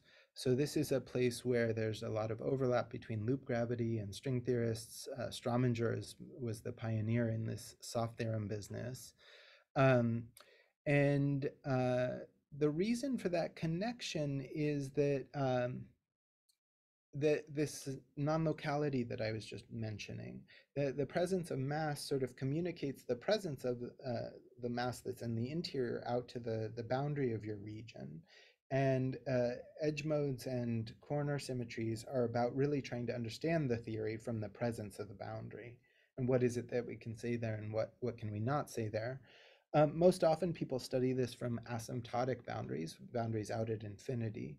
But uh, what we'd really like to do is to study this in finite regions and, and be able to pin down everything about the, the theory in the finite region. It's a much harder problem. Uh, another thing that I think, which was mentioned in the questions already, uh, is that there's this beautiful thing that we understand well in gauge theories, um, although we don't always give it a name, and I wanted to name it. It's sometimes named in the literature, but kind of rarely. I want to name it for you so you could think about it more. We saw that gauge theories are subject to gauge transformations. and that those gauge transformations, uh, well, they're kind of the key feature of the redundancy of the gauge theory. But um, another thing that they lead to is, uh, is the change in wave functions. So in electromagnetism, when you make a local gauge transformation, that shows up as a phase in the wave function. And uh, it's a big part of the quantization of the theory to understand uh, how to deal with this change in phase. And it leads, as you, you all were mentioning, to Aharonov-Bohm type things. So this uh, principle is general. That is, there's a co-rotation. When you make a gauge transformation, it also shows up in wave functions. And so this is maybe another mathematical avenue for pinning down what's going on with mass in spin networks. We need to have the right notion of co-rotation when you make a gauge transformation. And that notion of co-rotation probably should include the mass in the in the phase, just as the charge is included in the electromagnetic case. Um, unfortunately, I don't have the reference here. I'll, I'll, maybe add it after today's discussion. There's a beautiful set of papers by um, Wickramasekara. It's kind of a hard name for Westerners, but uh, uh, Klink and Wickramasekara. Um, and one of them, uh, what they were trying to do was to generalize the Bargmann picture of particles in quantum field theory. Bargmann understood particles as representations of symmetries in the theory of Poincare. And Wickramasekara and, and Klink are looking at, um, at symmetry transformations where you allow the change to non-inertial frames. And this leads to a generalization of a group called a loop. And I think that this co-rotation principle and their work on loops could be a really interesting avenue to sort of generalizing spin, uh, spin networks in a, in a nice way. So that's a big uh, open area. It's a little mathematical, but I think there's really lots of physics that you could extract from it if you attacked that area. Um, an area that I've worked on a, a, bit and I find really beautiful and interesting uh, is the area of curved or constant curve tetrahedra. So you could imagine a tetrahedron where instead of having flat faces, each one of its faces was a portion of a sphere, uh, and a constant curvature sphere. And going from one to the next, maybe you have different spherical sections, but each one of these is completely uh, geodesic. Uh, and when you build uh, tetrahedron this way, you get a beautiful generalization of the gauge theory that we discussed, our tetrahedral cat. Instead of having that the Lie algebra elements sum up to zero, what you get in this case is that the Lie group elements associated with each face of this tetrahedron, their product is the identity. And um, and these Lie group elements have a beautiful interpretation. This was totally missed in the mathematical literature.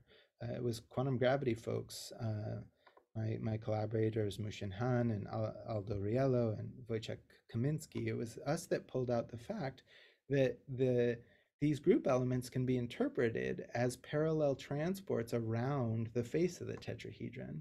And as such, they encode the area exponentially with the Lie algebra generators. So this is a beautiful generalization of a, of a gauge theory. Uh, it turns out the mathematicians had worked out part of this story in the theory of Poisson-Lie groups. And this leads into a huge mathematical literature that's really rich and, and gorgeous, and finally arrives at the theory of quantum groups and Q deformations. So um, these constant curvature environments are a way to think about the cosmological constant. And there's a lot that can be done here and a lot that I think would be really interesting. In other words, what's a spherical cat? Yeah, we talk too much about spherical cows. We need a spherical cat. We need a good understanding of the gauge theory behind these constant curvature tetrahedra. So that would be a, a massive achievement, I think. All right. And the last set of questions I, I want to pose to you come from this analogy I was mentioning at the beginning with the non-constant number of particles in a quantum field theory. What's the analog of that in a quantum theory of gravity?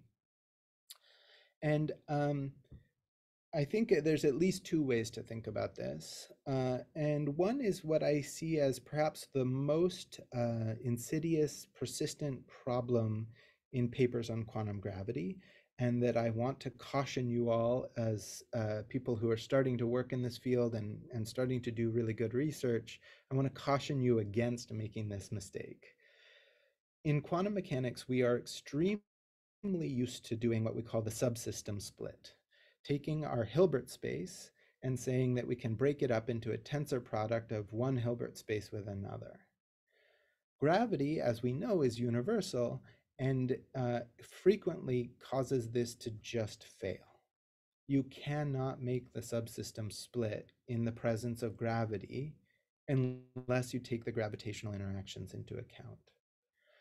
This leads to confusion all over the place, confusion about entanglement because you assume you could make the split when you couldn't, confusion about what you're talking about when you're talking about a subsystem, eh, trying to overly isolate a subsystem that you can't isolate. So uh, be careful of making the subsystem split. Whenever you write this kind of thing down and you're happy, oh, I derived something, check, was it true?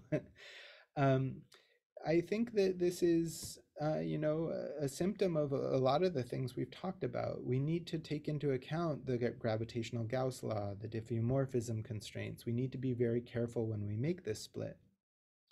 I'm not saying that it's impossible. I'm not saying that there's no regime in which this is possible. I'm just saying that you need to be aware of it and, and check whether you're in that regime or not. So uh, Laurent Freidel and William Donnelly have worked on this, uh, and others um, have tried to generalize the notion of tensor product so that it would be valid in these systems.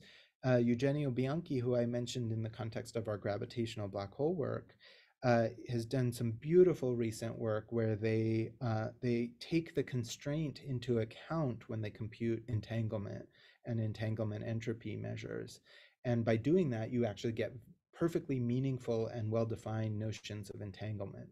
So it is possible. You just have to be careful when you do it.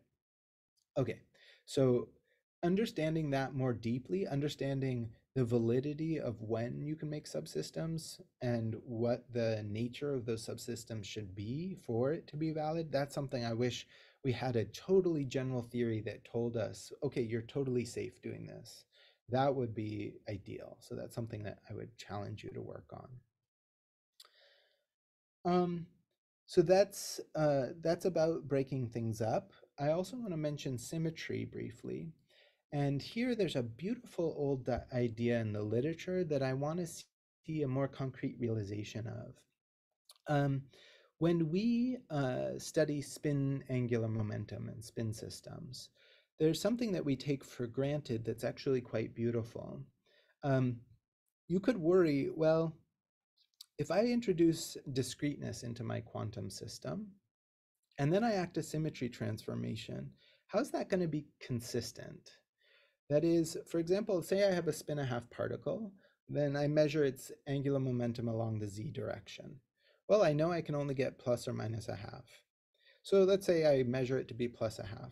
But now I rotate the system so that it's in the x direction. Uh, what's going to happen? Now the discreteness is going to be along another direction. How, how's that going to be consistent with the discreteness along the initial direction?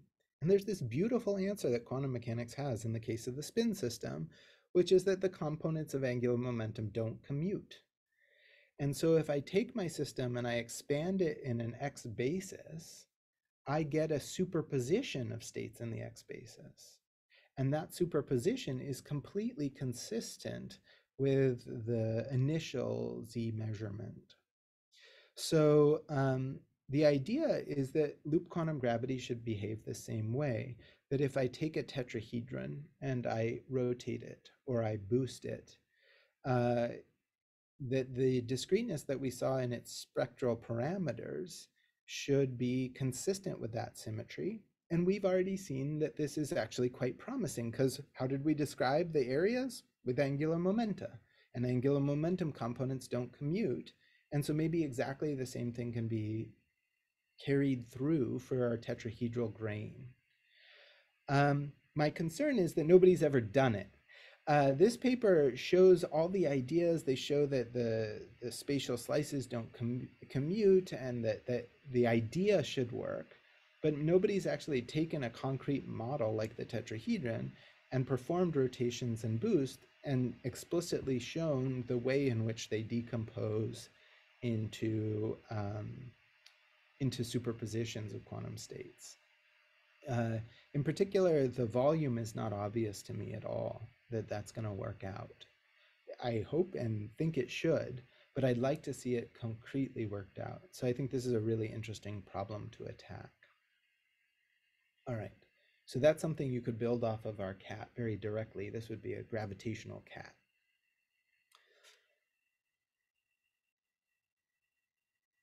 And finally, this field theory thing.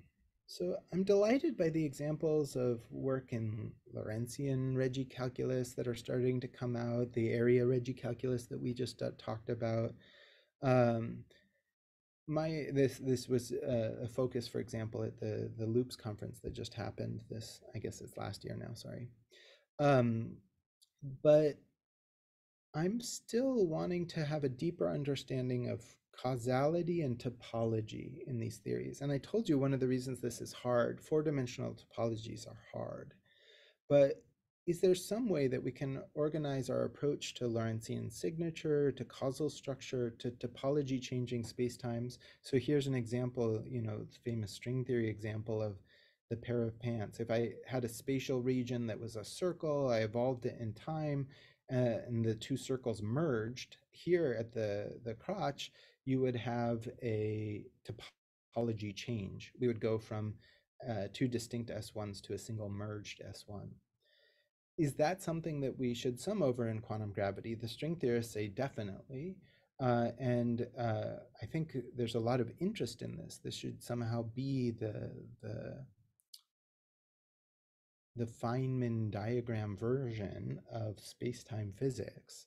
But how to control those sorts of sums is extremely wild. And uh, I think even toy examples that are worked out in detail would be really exam uh, really interesting and, and insightful in this context.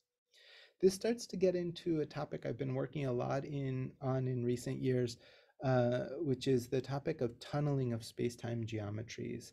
And I think tunneling might be a way to think about this and might be a really interesting avenue. Um, this goes back a couple of weeks, so you may not remember that you had the question, but one of the audience members asked a nice question about whether tetrad and triad variables had an advantage over metric variables. And actually, in the context of space-time topology change, they very much do. Um, the tetrad can consistently vanish at a point. And if you have a point of topology change like this, a vanishing tetrad would make perfect sense. And so this actually um, further sort of motivates that use of variables in my mind is the fact that they allow for this greater generality where you can have a singular structure at points where topology change happens. Um, if you tried to do this with the metric, you would run into all sorts of problems. All right. Those are my questions for you. I thank you all for a lovely, lovely couple of weeks and for all of your questions. And, and I'm interested in hearing some more. Thank you, Hal. Um, thank you very much for all these uh, great lectures and um, especially for the time. So we have a few questions in the chat. Maybe you could look at them and then we can close the session. Sounds good. So let's see. Let me see if I can get the most recent ones. Uh, okay. Uh, Alicia is pointing out that if you're interested in the gravity-mediated entanglement, uh, Flaminia's course talked about it. Um, and yes, it's another one of the, the lectures in the series that the International Society is putting together, the basics of quantum gravity, and uh, Flaminia's talks are fantastic. Um, so do check those out. She's coming from uh, more of a quantum information perspective and will give you much more depth on that side. Um, S. Kastrinakis is asking a question for the end. There was an observation of photon speed being the same for different frequencies in contrast to loop quantum gravity. How troubling should we consider this? Thank you. Um, good. So um, Lorentz invariance and um, and these dispersion relations of photons were uh, were early proposals that were made uh, both in loop gravity and outside of loop gravity as possible phenomenological signatures of quantum gravity. So here the idea was that perhaps um, the discreteness of space-time actually changes the dispersion relation of the photon and that if you had a photon that was traveling over interstellar distances, you know, over vast cosmological scales, that that change in the dispersion relation could be probed experimentally. Um, but be careful. This was just an idea as a consequence. Uh, you know, one of the other places it showed up was in this um, approach of introducing a, a length scale into any theory of quantum gravity. If you take seriously the Planck scale as the limiting scale of your theory, then uh, you you're going to want to do something like what Einstein did with velocity addition. So when you add two velocities in Galilean relativity, they just add up, right? But Einstein modified the velocity addition rule to preserve the speed of light so that no matter what the velocities you're adding, uh, you can never exceed the speed of light. And in particular, so that when you add the speed of light, you, you always get the speed of light. Um, and so this was also done uh, as an approach uh, for thinking about length scales. If we want to make a fundamental length scale in our theory, maybe we have to modify how we think about uh, dispersion relations and length scales, modify in particular the group structure of how we add things in order uh, to preserve that scale. And uh, you're correct that so far nobody's seen any evidence of modified dispersion relations in, uh, in experiments, but this isn't uh, either a fundamental input to any of our theories of quantum gravity. The, the spectral discreteness that I talked to you about throughout the course doesn't require that um, somehow your space-time is literally broken up into chunks right? This is what we talked about when we talked about the interpolation of the degrees of freedom. So you don't have to modify a dispersion relation. It could be that it's a more subtle Lorentz covariance that's along the lines of what I was just discussing. When we rotate our states via a boost or a rotation, the state just changes into a superposition of states, and there's no um, the signature of that spectral discreteness isn't writ on the dispersion relation of the, the photon. So this was a promising avenue. It, it, hasn't worked out so far. It doesn't seem that that causes problems for any of the approaches to quantum gravity yet. But if you want to build in a theory that modifies dispersion relations, you have to worry about this. And you have to, that your theory has to respect the experimental bounds on, on that violation. Um, Karsten Dirks, who I can see, hello, uh, also had a final question. Uh, how do photons or other particles propagate through space in loop gravity uh, from polyhedra to polyhedra? Will there be uh, differences between massive and non-massive particles? So yeah, as I was saying um, just now in the, the response to the last question, uh, I want to again and again stress that you shouldn't take these polyhedra to say spacetime is literally cut into polyhedra, right? The polyhedra are model for the finite number of degrees of freedom that we're talking about when we cut the theory down to a finite number of degrees of freedom, right? My analogy from the last discussion was if you're, one of the ways we probe gravitational physics is if, with uh, test masses, right? So if you imagine a solid ball of test masses, then you can probe all of the degrees of freedom of the gravitational field, infinitely many, right?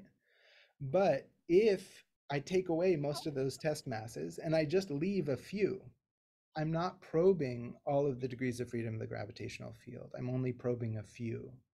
And that's what the polyhedral picture is doing. It's only keeping track of just a few of the degrees of freedom of the field. Does it mean the other degrees of freedom aren't there? No, it doesn't mean that. They're they're potentially there, and we have to study them. You know, we have to go to a finer graph and study those, and a finer graph and study those. Um, and so it's more of a pragmatic move. It's that it's hard to study in in a background independent theory like this, where we're not fixing some structure. It's very hard to study all of the degrees of freedom at once. What are you studying with respect to what, right? So the move that we make is to cut down the gravitational degrees of freedom to a few and study those. So um, to answer your question about photon and particle propagation, um, the I don't think there's been enough work that concretely addresses that question. That's part of what I was saying when I was saying we need to think more about mass in this in this theory. Um, but to give you a hint of how we would imagine it would go, as you study more of the degrees of freedom of the gravitational field, it would look more and more like classical propagation. That is, we would expect in the semi-classical regime of the theory to recover normal propagation. Um, but you're asking a, more, a refined question. You're saying, are there quantum gravitational effects that I should expect? And that's the question that I think needs more investigation. I don't, we don't, the, the thing that we have the most evidence for already in loop gravity is the graviton propagator, which you can study in the semi-classical limit, and it looks to recover the sort of standard graviton, graviton propagator in the truncation to the finite number of degrees of freedom that we've looked at. Uh, so you, of course, the hard work would be to extend that to more degrees of freedom and understand if it's still true. And that gets into the hard work of renormalization and all these sorts of things, which are very much open questions and should have been on my list just now. Uh, renormalization is is a difficult uh, area that's been worked on a lot and where there's still a lot to do. Um, I'm scrolling back because there have been lots more questions. Let's see. Uh, Deepan is asking, is there geometrical interpretation of loops and resolution of divergences in the spin foam model? Uh, yes, the loops have exactly the same interpretation as the one that we discussed in the canonical theory, which is that they are gauge invariant measures of the curvature of spacetime. Um, in the spin foam model, we're doing exactly that same truncation of degrees of freedom that we were just discussing. And so they're uh, going to necessarily be truncated measures of the curvature. They're not going to be infinitely refined, but they're, they're probing the parts of the curvature that you have access to in a gauge invariant way. And that's why I spent so much time discussing this cool thing that uh, Wilson loops are good observables in loop gravity because diffeomorphism makes it so that one loop that's just a small deformation of another loop are gauge equivalent. And so that actually makes it a much more useful observable than in a theory where you don't have diffeomorphisms because the two Wilson loops would just be distinguished and you would have uh, infinitely many observables that would be hard to sort out. Um, and then the Deepan also gives a very nice thank you. You're very welcome and thank you. Uh, another question. Could the gravitational field cause some form of Berry curvature in the local phase of gauge particles? Uh, so this is sort of a, oh, I see, you're commenting on it. Oh, you were thanking me for that one. Perfect, we addressed that question earlier. Uh, Idris asks, some of the work, work in the loop community discusses black hole tunneling to white hole through effective dynamics of the reduced symmetry via Hamiltonian formulation. I have two questions regarding this. Well, first of all, Idris, thanks for asking about this. I was one of the people who started that work and I, am slightly embarrassed I didn't include it today, but uh, but uh, I do love it. so uh, the first question is, does anyone have a similar effective evaluation from the Lagrangian covariant perspective? And do those approaches, are they consistent? So there's been a lot of work on both the canonical and the covariant side on this. Uh, so Carlo Rovelli and I, Francesca Vidotto, And um, many people since, many students worked with Carlo on uh, elaborating the idea. So uh, the initial paper we wrote was called Black Hole Fireworks, and you can look at that one. Um, it was the idea that um, there are regimes of the theory that we hadn't understood could be highly quantum mechanical. So I talked a lot to you about the single uh, central singularity of a black hole, the place where infinite density is predicted by the theory. And uh, we, we understood that, oh yeah, that is a place where quantum gravity effects should be happening. Um, but there's another regime, which is the, when we draw a black hole, we often draw the horizon extending all the way out to the central singularity. But that's actually a late time regime of the theory. And at late time, you can imagine quantum effects piling up. You've allowed a long time for them accrue, to accrue, and that's where tunneling comes into this story. So Carlo and I thought about this initially largely from a covariant Lagrangian uh, perspective, uh, but uh, Abhay Ashtekar and Martin Bojowald started thinking about this very early on, and uh, they didn't uh, compare it with a white hole, but they, they said quantum gravity should resolve the evaporation of the black hole, and they gave a very compelling Penrose diagram for that. And then in recent years, Ashtekar and, and collaborators uh, have worked on um, sort of this transition to a white hole and how to think about that from a canonical perspective. Uh, I can add some, some references to these works. Uh, the second question was, should we take such an effective description seriously since we uh, truncate infinitely many degrees of freedom? Um, part of the idea was that um,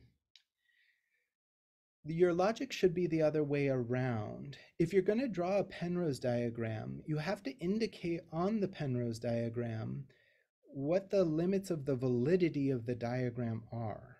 And we often fail to do that. And I think it's a big mistake.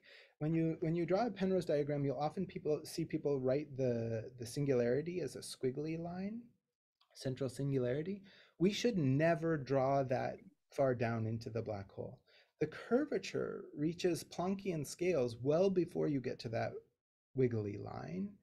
And as such, we shouldn't trust the diagram at all. The diagram is a classical diagram. It's not at all obvious that we can even draw a single space-time at that point quantum gravity effects are strong there. It could be a superposition. Does it even make sense to draw one space-time?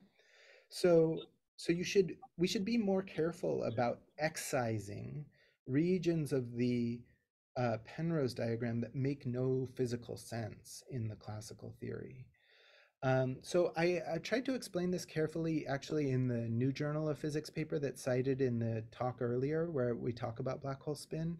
I tried to really give, uh, Eugenio Bianchi and I tried to really give some intuition for which regions of a Penrose diagram you should trust and which you shouldn't. And so if you want to look more into that, that, that would be a paper you could look at. All right of course, the questions will come in faster than I can answer them. I'll go on for maybe five or 10 more minutes. Is yeah, that good I, for you? I, I think that sounds good. And then maybe you can close the session. People who would like to stay can continue discussing. That sounds good. Uh, so uh, Faikal says, um, given that black holes cannot be in thermal equilibrium with their surroundings, what does loop gravity say about black hole stability? Uh, so I, I think Faikal's uh, referring to the Bekenstein, uh, sorry, to the Hawking radiation. So uh, even if a black hole were isolated, it would be radiating and hence not in thermal equilibrium. And uh, loop gravity takes that very seriously. this is something that, while it's very difficult to empirically probe, makes us think that black holes do not live forever and makes us think that you should be taking quantum effects into account, especially towards the end of the black hole evaporation. So that's that's uh, very closely tied with this discussion of black hole to white hole transitions. And what we're asking is what is the end of the life cycle of a black hole? And uh, we've sort of tried to spend a lot of effort. If you use the Hawking radiation to estimate the life um, the lifetime of a black hole, you get this m cubed number. I think I wrote it down. It's something like 10 to the 75th seconds. So it's um, many, many orders of magnitude longer than the age of the universe. And uh, this is somehow implausible that black holes might live that long. And it, it, I think it indicates that there's um, back reaction effects that we're neglecting that we can't at the end of the, the lifetime. So today I spoke a lot about primordial black holes and about the possibility that LIGO black holes are primordial in nature. But uh, another smoking gun signal of primordial black holes would be if you found a very light black hole, say less than a solar mass or even a planetary mass black hole, then we would have to be primordial in nature. So, you know, ours using spin to extract whether it's primordial or not is difficult. Our proposal is difficult. You would have statistical claims you would need to make. Um, if you found a light black hole, I think nobody has any mechanism for making them except primordial.